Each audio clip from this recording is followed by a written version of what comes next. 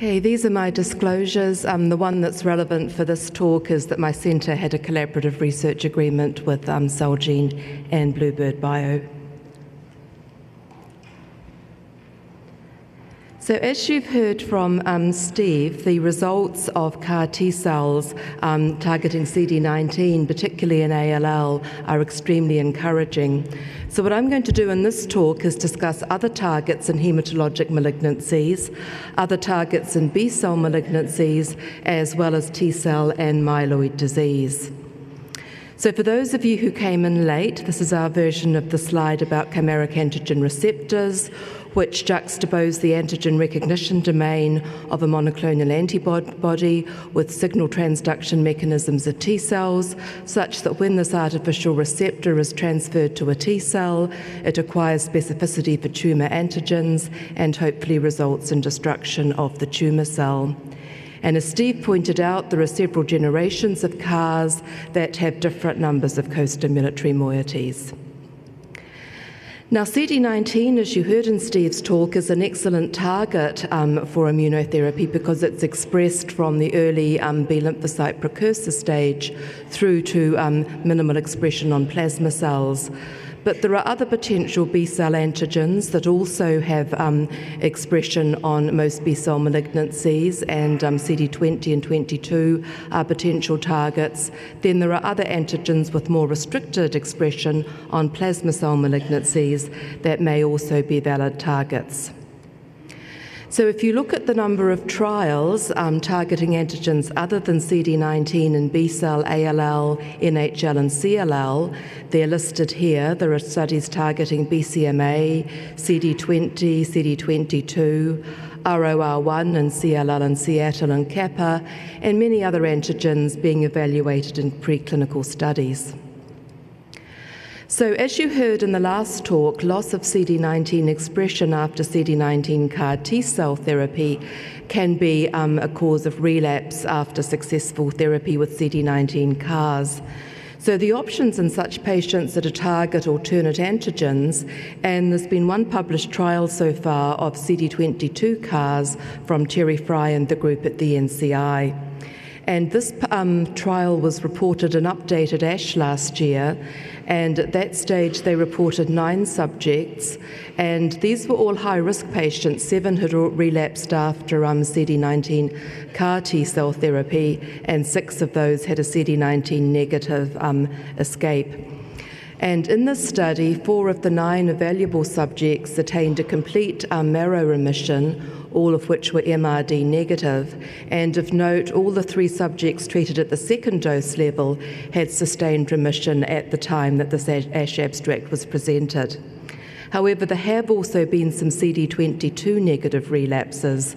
So I think the future directions in this area are to perhaps target multiple antigens, and there are several combinations, all of which involve CD19 um, with CD22 or 20, or indeed all three antigens. Now, I know a number of groups are developing such trials. The only one I could actually find on clinicaltrials.gov so far, though, is from the Medical College of Wisconsin targeting CD19 and CD20. The other um, side effect of um, a CD19 CARs is that they can cause B cell aplasia. And there are some other more restricted antigens that may potentially leave B cell subpopulations intact. And um, Carlos Ramos and Pietro Dotti in our group um, focused on the kappa um, light chain because malignancies are monoclonal, expressing either kappa or lambda, and targeting one of these should leave the other reciprocal population intact, so there'll be some preservation of normal B cells. And this study was reported um, in JCI last year. And I'm just going to show one patient who was a follicular lymphoma transformed to diffuse large B cell lymphoma in his fifth relapse. You can see he had residual disease prior to receiving the kappa CARs, and six weeks after his second infusion was in remission, and he remains in remission at four years without any further therapy. The overall response rate in the first nine patients in this study who didn't receive lymphodepletion was 33%, which is obviously lower than reported with the CD19 CARs with lymphodepletion, but the study is continuing with lymphodepletion added. In myeloma, a number of um, potential targets have been evaluated in the clinic NKGD2, Dana-Farber, and BCMA at several sites, and there's also a number of other um, potential targets being evaluated preclinically. So the NCI reported the first study of CARs targeting BCMA, and this report in Blood last year from Jim Cockendorfer's group used a retroviral vector with a CD28 co-stimulatory moiety and they reported no side effects and minimal activity on the first two dose levels, but on the higher dose levels, they started to see responses as seen here. And this approach has been translated um, by Bluebird Bio to a multi center study where they're using a lentiviral vector that um, uses the 41BB co stimulatory moiety. And this is data reported in an abstract by Dr. Lin from Mayo at the EOTRC conference in December. And of note, um, if you look at the different dose levels, at the lower dose level, the response rate was only 33%, but it increased to 100% at the two higher dose levels, and some stringent complete responses were seen, which I think is encouraging data, albeit on a small number of patients so far. Now, in Hodgkin's lymphoma, because of the success of brentuximab, CD30 is an obvious target that's being evaluated in the clinic. There's also preclinical studies um, from Saar Gill looking at CD123, which is expressed on both Reed Sternberg cells and also on tumour associated macrophages. So CD30 is obviously, um, like many of the B cell targets, a target that's validated by the activity of the corresponding antibody.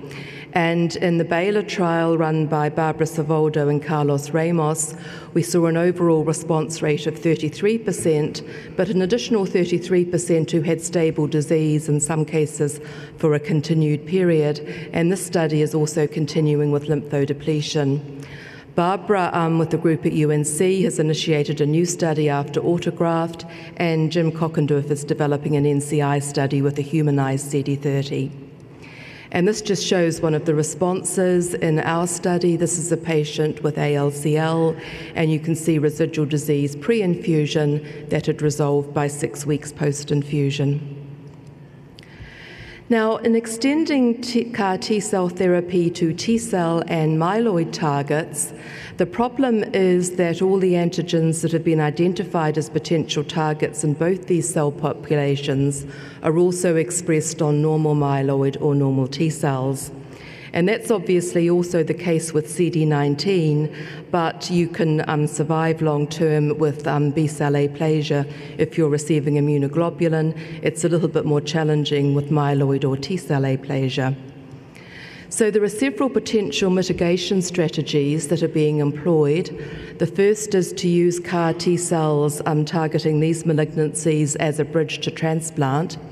This means logistically that you need to identify a potential allogeneic donor prior to administering the CAR T cells, and you also need to make sure you eradicate all your CAR T cells with conditioning because you don't want them persisting post transplant. A second strategy is to incorporate a suicide gene, um, such as an inducible caspase 9, so you can eradicate the CAR T cells after they've had a period in which to um, um, have their anti tumour activity. Um, people have evaluated transient CAR expression um, with mRNA or non integrating vectors. And another approach would be to have an activation switch so you could turn on and turn off expression of the, um, of the CAR T. Another potential mitigation strategy is to render the normal cells resistant to the CAR by gene editing with CRISPR Cas. And this has been reported in two abstracts at ASH. Saar Gill's group um, uh, used CD34 cells and then knocked out CD33. So these normal cells should then be resistant to a CD33 CAR that you would use to treat AML. And Max Mammenken has used the same strategy with T cells to knock out CD7 to allow treatment of T cell lymphomas with a CD7 CAR.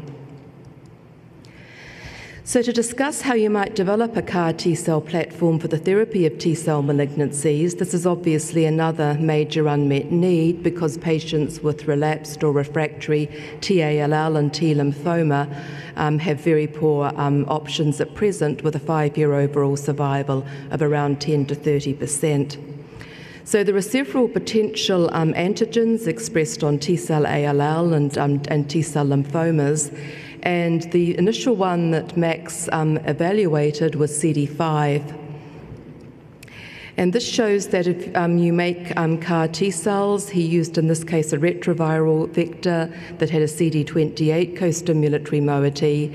It could provide protection in a mouse xenograft model of ALL, so it could eradicate um, the TALL, and the mice who received the CAR T cells had prolonged survival. Importantly, it also had activity against primary TALL blasts, as shown here. So Max, along with Rain Rouse, are translating this approach to the clinic and have submitted an IND for a CD5 um, CAR T cell trial, and this will be given in patients who have an identified allogeneic donor because of the risk of eradicating normal T cells. In terms of myeloid malignancy, there are only actually two published trials that I could find. The first is from David Ritchie's group in Melbourne, where they treated four patients with relapsed AML with a CAR targeting the Lewis antigen. They saw limited CAR T cell expansion and persistence, but had two patients who had a transient reduction in disease, but they all eventually progressed. There's another case report from China um, where uh, one patient received um, T cells transduced with a CD33 CAR and again had a transient response. The current trials active in the US are two trials targeting CD123 at Penn and City of Hope. No data has been published from these trials as yet, and a trial at Dana Farber targeting NKGD2 which was presented in abstract form at ASH, where they had no objective responses in the first six patients treated at lower dose levels with AML or MDS. There's a lot of preclinical um, targets being evaluated, and obviously a lot of interest in trying to identify targets that are selectively expressed on leukemia as opposed to normal cells. So, in conclusion, I think the studies you've heard earlier this morning show that second generation CD19 CARs have very remarkable activities against B cell malignancies, um, especially ALL, even when it's relapsed and refractory. CARs can, though, successfully travel beyond CD19 um, with results published um, targeting CD22, kappa, and BCMA, and even beyond B cells to CD30. An extension to myeloid and T cell disease is obviously a major goal, but it requires a strategy to mitigate effects on normal progenitors. And I would obviously like to acknowledge all the people in my centre too who are involved in the studies from our centre that I've presented. Thank you.